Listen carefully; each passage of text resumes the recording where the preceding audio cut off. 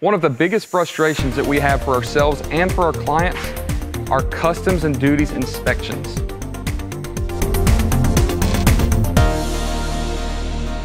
Inspections are not necessarily something that we can control.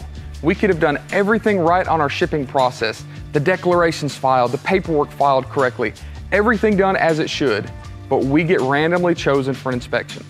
These inspections help secure our country.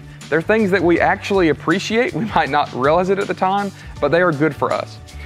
What Customs and Border Patrol does at the port of import, or at the time of import, is randomly select containers and shipments, whether it's air or ocean, to take out and inspect.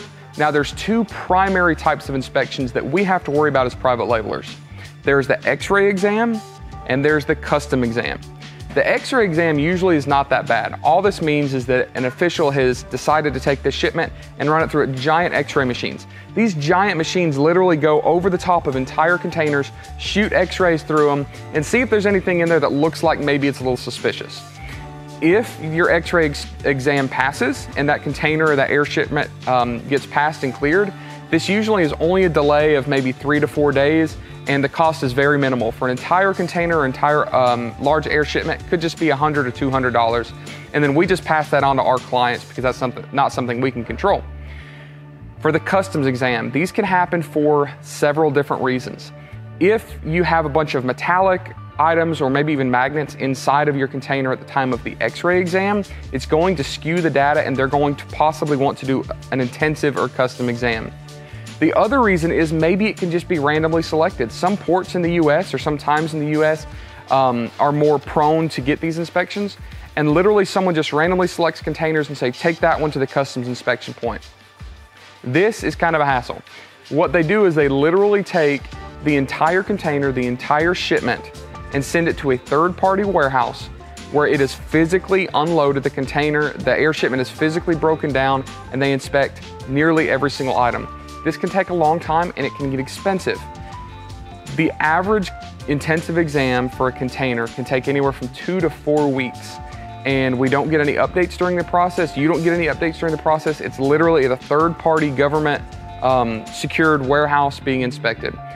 The cost for these can be minimal or they can be high, and it's all just based on the labor to unload these things. These inspections can run anywhere from $1,000 a container to maybe even four or $5,000 a container. When we at Hickory Flats ship in containers, if they get randomly selected for this intensive exam, we determine how much of our client's goods compile the container. So if we have one client that his, his or hers items took up 10% of the container, we just charge them for 10% of that inspection. If we're bringing in an entire container for a client and that container gets randomly selected for the intensive exam, we have to pass that cost on. Just understand that whether you're shipping with us, you're shipping yourself, another freight forwarder, if your goods are picked out or determined to be inspected, don't necessarily think that you, your freight forwarder, your shipper, your products, anything is wrong. This is normal. It's something that happens to everybody at some point or another when they're importing. It's really for our safety, and it's not something that you can um, control. So it's not anything you can speed up. So if you get selected for inspection, just try to relax, take your time, let things pan out by themselves. Generally, everything turns out just fine. It's just something that you need to consider when you're purchasing products that you may have a delay and you may have some unexpected additional costs. If you have any other questions about these types of inspections, you can check with us here at Hickory Flats. You can email us, you can go to our website and get more information about that, and we'll do anything we can to answer any of the questions you have.